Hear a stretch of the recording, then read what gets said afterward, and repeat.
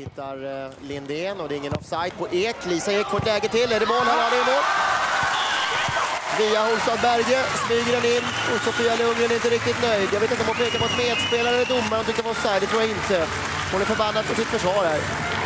Så tolkar jag det i alla fall. Ja, det börjar ju med slarvigt av Agneta som står och väntar in bollen. Press smiter emellan. Så det är en bjudning i försvaret, det tycker jag. Och sen får Lisa Ek två chanser. Är här Agneta väntar in bollen och press bara går mot den. Snor den helt enkelt framför fötterna på henne. Absolut ingen offside. Det är försvarsspelet som inte funkar där riktigt. Och det är 1-0 alltså, Lika Ek, Lisa Ek målskytt igen.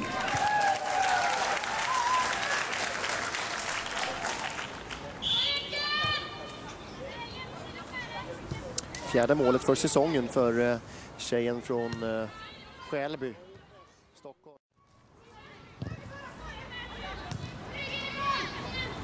Oj, Oj, det där är oj, oj, oj. Christian Press. Det är fjärde möjligheten. Tredje, press, press, press, press. Och vad långt de kommer! Och det är 2-0. Där börjar ju folk undra lite grann här i publikhavet. Är det de som är på Valhalla? Ska hon gå ut över förlängd mållinje eller? Nej, hon lägger den i mål. Det är 2-0. Vad gör Holsta Berge i den där situationen? Hon måste ju få kontroll på bollen där, slå ut den till inkast, gör vad som helst, men inte sådär. Ett förs- försvarsmisstag från eh, Nora Holstad Berge. Titta här, bollen från Agné. Och då är press bakom och då släpper man inte. Oj, vad länge hon går här. Ja, hon väntar ner Lundgren som, som är väldigt duktig på de här lägena, som kommer ut som du sa förut i den andra situationen. Hon kan inte stå, hon orkar inte stå hela vägen utan Press utnyttjar det där läget på ett riktigt bra sätt. Och då är det 2-0 för Göteborg mot Linköping. Linköping är två utespelare på bänken. Kristen Press kommer i bra fart här och sticker hon iväg. Ska göra sitt andra mål i matchen och 3-0 för Göteborg. Ja, det ska.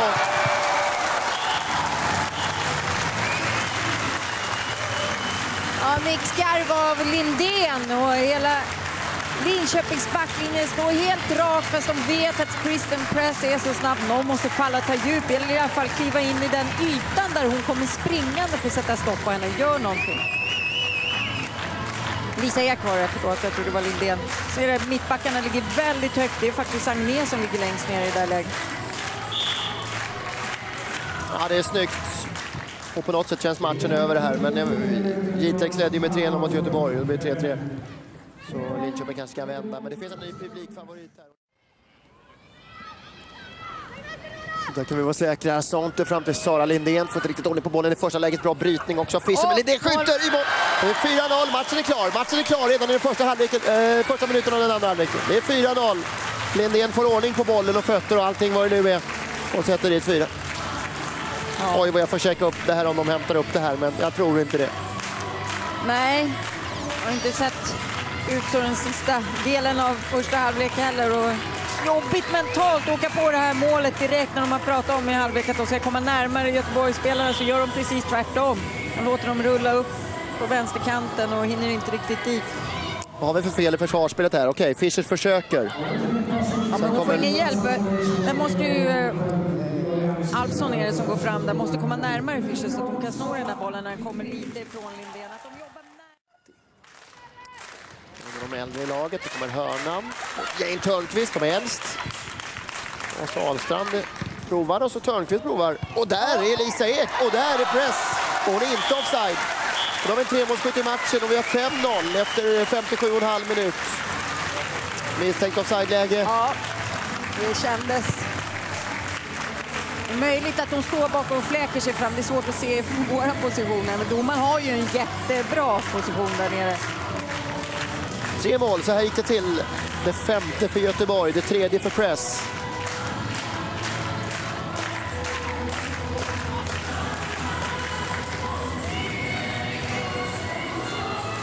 Ja, hon kan mycket väl vara onside här. Eh, svårt att se från den här vinkeln, men eh, domaren som du säger står bra placerad. Och Göteborg vinner. Andra bollarna i motståndarens straffområde. Är därför får in det här halkar till lite i kampen med Jessica Samuelsson. Där är bollen för Lindén som är rätt. Sara Lindén har gjort ett mål i matchen, spelar mot bortre. Där är Liljegärd, Kruppas lite och sätter in bollen i mål. Det är så lagom fysisk kontakt så det är absolut ingen frispark. Och det är 6-0. Osjälvigt av Lindén. Jag tänkte säga det, måste skjuta där, men det blir ju mål ändå. Tack vare Liljegärds viljestyrka. Men återigen tycker jag att det är ett svagt försvarsspel av Linköping. Och lite knuffar där inne, det är väl okej. Vi ska se om det är oschysst eller inte. Men och Lindén ligger på gränsen här också. Vi ser ju vad som händer centralt. De miss, tappar två närkamper där centralt och sen inte tillräckligt tuff Agnér i det där läget.